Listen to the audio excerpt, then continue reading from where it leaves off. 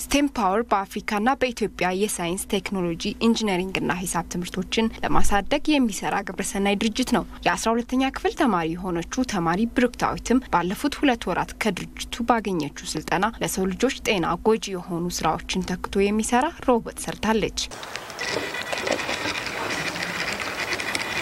ይሄ ብሉቱዝ ሆኖ connect አደረገ ማለት ነው። ከዛ በዚህ ነው የምናዘው።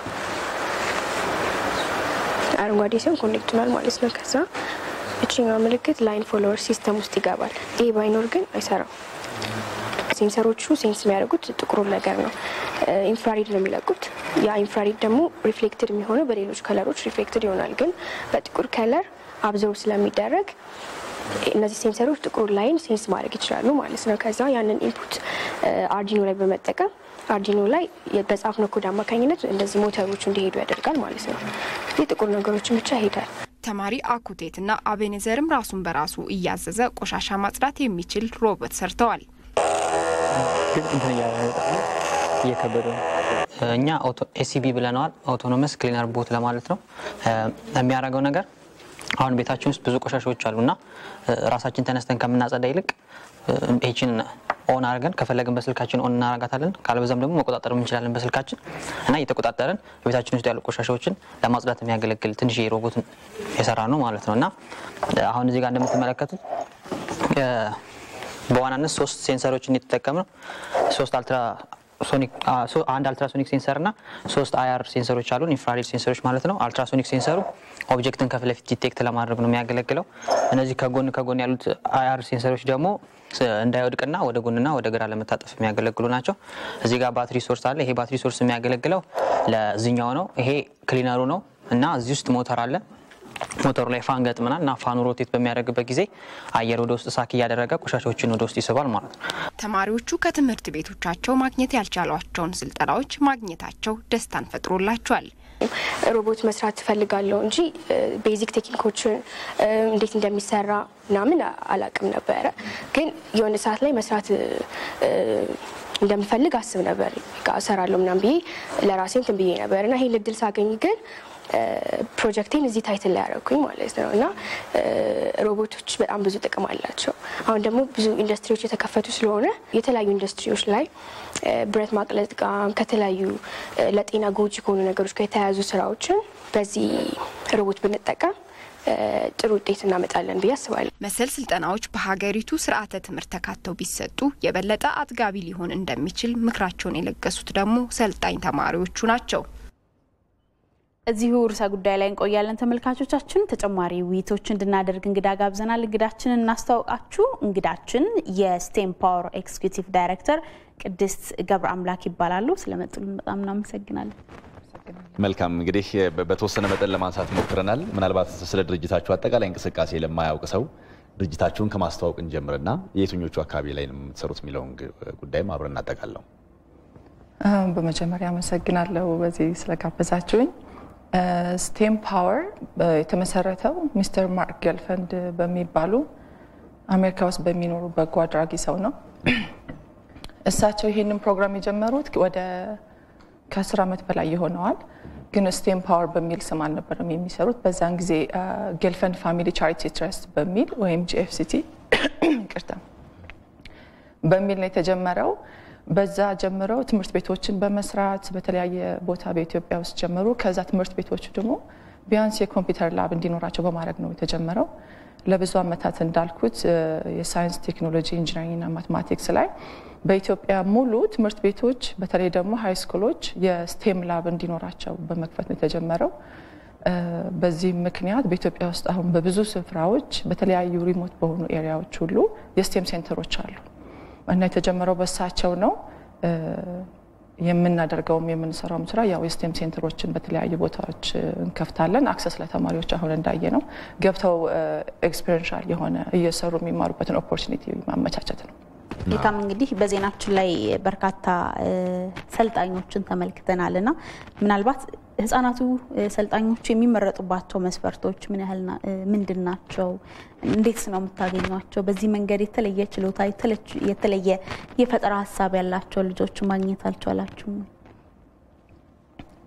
ተማሪዎቹን ያው በአሁኑ ያየነው በአዲስ አበባ ኢንስቲትዩት ቴክኖሎጂ የመጡት የመጀመሪያው በአዲስ አበባ ውስጥ ያስመረቅነው center ነው። በፊት ስንሰራ የነበረው ከአዲስ አበባ ውጭ ባሉ area ዎች ነው፣ ራቅ ራቅ ባሉ ስፍራዎች ነበረ። ይህንን ከከፈትን በኋላ ስናስመርቀው June ላይ ነበረ።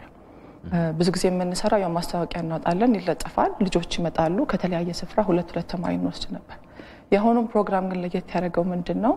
አራት ኪሎ ስለሚገኝና በፊትም በእኛ ስር ስለነበረ የኮተቤ ሳይንስ shared campus የምንለው አለ። STEM center ከመክፈቱ ባሻገር በነገራችን ላይ science shared campus ኦችን እናቋቁማለን። የ science fair November tenth የሚደረገውንም በእኛ በ GFCT ነው የተጀመረው። በአሁኑ ያስገባናቸው የኮተቤ ሳይንስ shared campus ልጆች ናቸው። geographically ም ቅርበት ነበራቸው። ለዚህም exposure ነበራቸው። ጊዜውም አጭር ስለነበረ አሁን የገቡት በሙሉ የኮተቤ ሳይንስ shared campus ናቸው። normally ስንሰራ ግን ማስታወቂያ ያወጣል እንለጥፋለን። ልጆች መጥተው ይመዘገባሉ። በዛ መልክ ነው የምንቀበለው። ያው ቅድም እንደተናገራችሁት በነፃ ነው። STEM የሚለው ነገር science፣ technology፣ engineering ና maths የሚለውን ነገር አንድ ላይ አጣምረው እነዚህን ቃላት ተጠቅሞ የተፈጠረ ይመስለኛል። እንደዚህ እንደዚህ አይነት ስራዎችን የሚሰሩ ታዳጊዎችን ወጣቶችን በተለያየ መድረክና አጋጣሚ ላይ እንመለከታለን። እኛም እዚህ ጤና ይስጥልን ኢትዮጵያ ላይ በጣም በርካታ የፈጠራ ስራዎችን የሚሰሩ ወጣቶችን እናነሳለን እና ምናልባት አንዳንዶቹ ወደ ተግባር ለመግባት በጣም ወደ መቃረብ ደረጃ የደረሱ ይሆናሉ። ነገር ግን ድጋፍ የሚፈልጉም ጭምር ይሆናሉ እና ምናልባት በእናንተ በኩል የሚመጡ ወጣቶች ምን ያክል እንደው ምርታቸው የሚሰሩቸው አጠቃላይ ስራዎች ተግባራዊ ለመሆን ቅርብ ናቸው? እነሱንስ ደግሞ ተግባራዊ ከማድረግ አኳያ ምን አይነት እገዛዎችና ድጋፎች በእናንተ በኩል ይደረጋል? ከሌላስ ምንድን ነው የሚጠበቀው የሚለው ነው። ቅርታ አሁን የተደረገው ለምሳሌ ቅዳሜ የተደረገው ውድድር አለ። እዛ ላይ ከአንድ እስከ ሶስት የወጡም አሉ። እስከ አምስትም እስከ ስድስትም የያዝናቸው ልጆች አሉ። መወዳደር ስላለና ያው የግድ መወዳደር ስላለባቸው ነው እንጂ ነጥባቸውን ብታዩ በጣም ተቀራራቢና ለውሳኔ አስቸጋሪ በሆነ ሁኔታ ነው እነዚህ ልጆች የተመረጡትና ያው ለማበረታታት ኮምፒውተር ሰጥተናቸዋል። ግን የሚሆነው እንዴት ነው? እነዚህ ልጆች ወደ national science fair November አስር የሚዘጋጅ ከትምህርት ሚኒስቴር ከ Ministry of Innovation and Technology ከ ICT Park ከ Ministry of Science higher education ጋር partnership እንደዚህ የሚዘጋጅ event አለ። ወደዛ ይሄዳሉ ማለት ነው። እዛ ሄደው ደግሞ ያው ከሌሎች ከኢትዮጵያ ዙሪያ ከመጡ ተማሪዎች ጋር ከኛ STEM center ብቻ ሳይሆን ከትምህርት ሚኒስቴርም ከተለያየ ቦታ ከመጡ ልጆች ጋር ይወዳደራሉ። ከዛ ከዛ የሚያሸንፉት አሁን ከ Ministry of Innovation Technology ጋር በመሆን ልጆቹ idea ቸውን incubate ማድረግ እንዲችሉ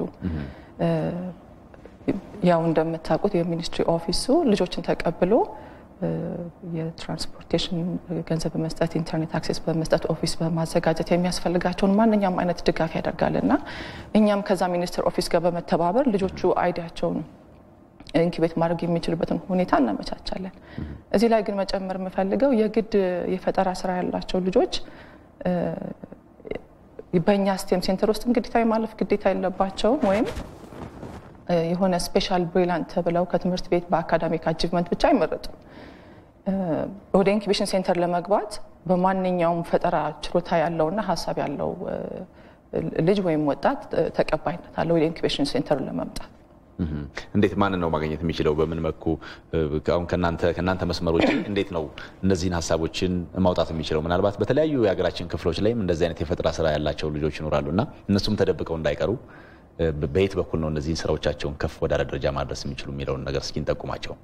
አንዱ ያው በቀጥታ የእኛን የ STEMpower team ኦችን ወይም እኛን ኢሜይል በማድረግ ወደ ተለያዩ center ኦቻችን በመምጣት በተለያዩ center ኦቻችን ያሉ center coordinator ኦችን በማናገር ነው። ሁለተኛው የ ministry office ኡ ብዙ ጊዜ ማስታወቂያ ያወጣል። ማስታወቂያን ባልወጣበት ጊዜ ሁሉ ሄደው register አድርገው ቶሎ ቶሎ ነው ማስታወቂያ የሚወጣው። on rolling basis ነው የሚደረገው እና እዛ ሄደው መመዝገብም ይችላሉ። መልካም እንግዲህ በእነዚህ የስልጠና ሂደቶች ውስጥ በርካታ የፈጠራ ውጤቶች፣ የፈጠራ ስራዎች ወጣቶቻችን ላይ ህጻናቶች ላይ ተስፋ ሊጣልባቸው የሚቻልባቸውን ስራዎች አይታችኋል ብለን እናስባለን እና ምን አይነት ስራዎች ነበሩ? ይህንን ሀሳብ ቢያነሱልን ደስ ይላል። ምን አይነት ስራዎችን ሲሰራ ነበር? ምን አይነት ችሎታስ፣ ምን አይነት ስራስ ህጻናቶቹ ላይ ወጣቶቹ ላይ አለ?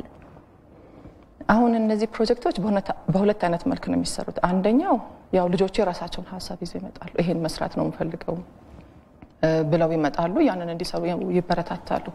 ሁለተኛው እኛ idea ዎች እናቀርብላቸዋለን። ከዚህ ውስጥ መርጣችሁ ስሩ እንላቸዋለን።